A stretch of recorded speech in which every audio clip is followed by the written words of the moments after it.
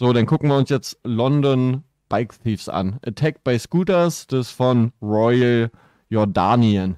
Ist einer, der eigentlich ohne zu sprechen immer rumfährt und Sachen beobachtet und wenn irgendeine Sache, äh, krasse Sache passiert, dann packt er das ins Video.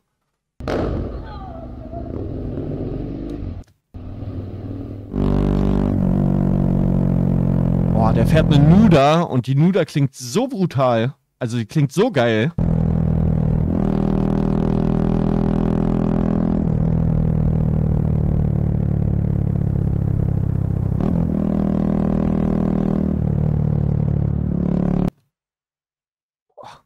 Irgendwie sehen die schon ein bisschen scary aus. Dass der auch einfach. Mittelfinger geht ja noch. Aber du weißt auch nicht, was er hier in der Hand hat und sowas. Mit so einem BMW-Roller rum. Sowas passiert bei uns in Berlin oder in Deutschland gar nicht, oder? Dass irgendwelche Moped-Gangster dir auflauern mit dem Motorrad und versuchen, deinen Schlüssel abzuziehen und dir das Bike zu klauen?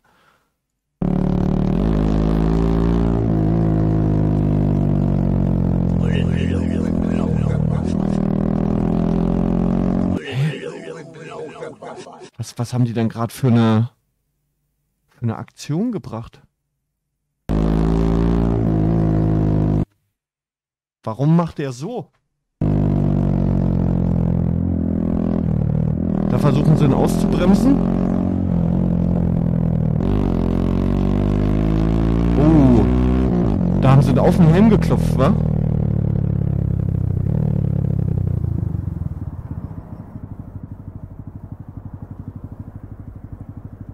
Erstmal checken.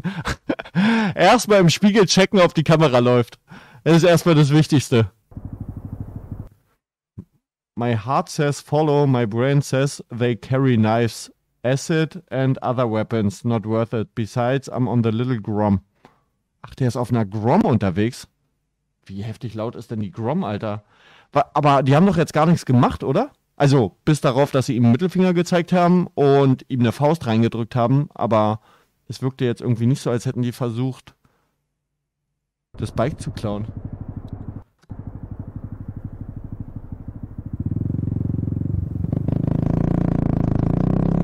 Ist das auch noch einer von denen? The streets are lost. These thieves roam then with impunity while the government stripes the numbers of police and claim all, all is good. Okay, also er macht da irgendwie so ein bisschen das System für verantwortlich, dass die Regierung das so ein bisschen runterspielt, dass da nichts ist.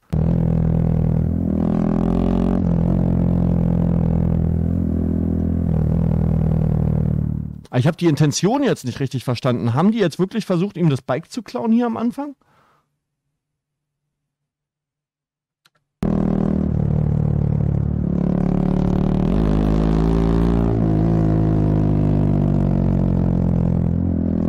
Guck mal, auch gar kein Kennzeichen dran. Fällt mir jetzt erst auf.